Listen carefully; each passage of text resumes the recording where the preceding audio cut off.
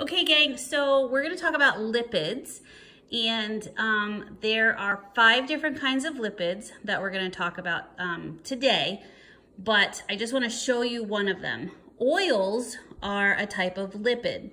And the interesting thing about lipids is that they are hydrophobic, hydrophobic, which means that they don't like water. If you have a phobia of something, right, that means you don't like it. So, and hydro means water. So lipids are hydrophobic. They don't like water. They don't mix with water, okay? So I have vegetable oil here in this glass and I'm gonna pour some water in it. And because the oil is a lipid and it doesn't like water, it's not gonna mix with the water that I pour in the glass. So let's go ahead and pour it in.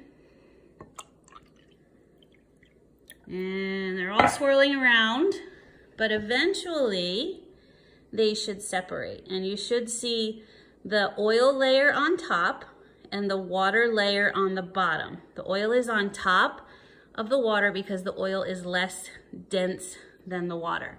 But you should be able to see the two layers. Um, you have the lipid, the oil on top, and the water on the bottom. So oil and water don't mix because oil is a lipid and lipids are hydrophobic.